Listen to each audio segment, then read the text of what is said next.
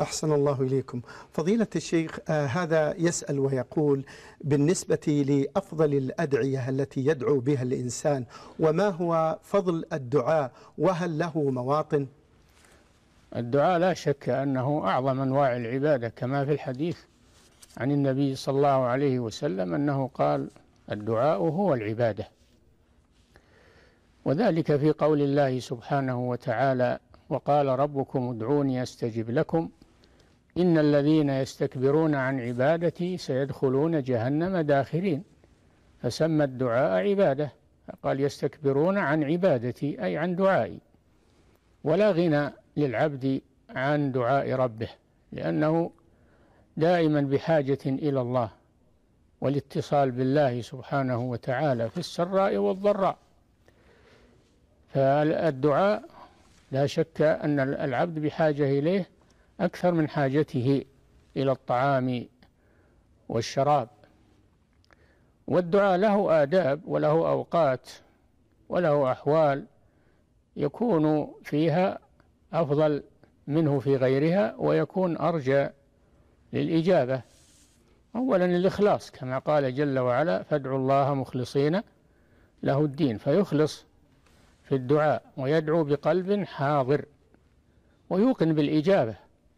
قال صلى الله عليه وسلم ادعوا الله وأنتم موقنون بالإجابة فإن الله فإن الله لا يستجيب الدعاء من قلب غافل لاه.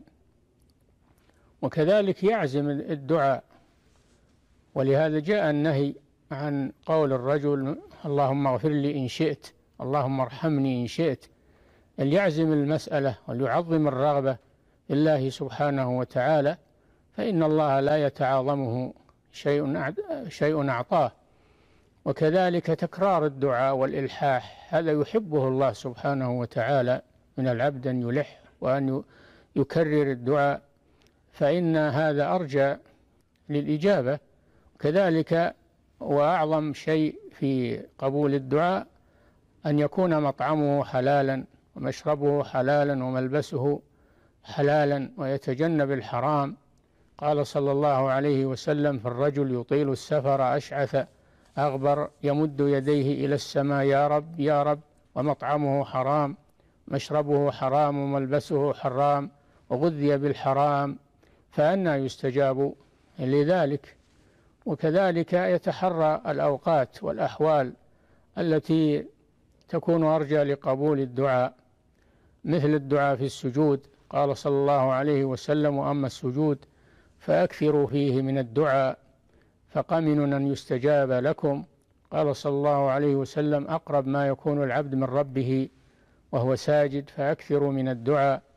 وكذلك يدعو في في آخر الليل في الأسحار يستغفر الله لأن الله جل وعلا ينزل إلى سماء الدنيا كل ليلة حين يبقى ثلث الليل الآخر نزولا يليق بجلاله سبحانه وتعالى ثم يقول جل وعلا من يسألني فأعطيه من يدعوني فأستجيب له من يستغفرني فأغفر له فهذا في كل ليلة منه سبحانه وتعالى مع عباده يفتح لهم باب الدعاء ويعدهم بالإجابة فالدعاء في آخر الليل الدعاء في آخر ساعة من يوم الجمعة كما قال صلى الله عليه وسلم إن في الجمعة ساعة يوم الجمعة ساعة لا يوافقها عبد مؤمن أو مسلم وهو قائم يصلي يعني يدعو إلا استجيب له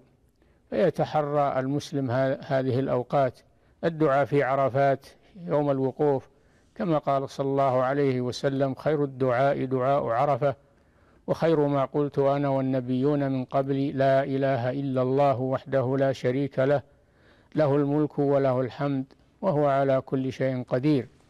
والنصوص في الدعاء وآدابه كثيرة وألفت فيه كتب مستقلة والله أعلم.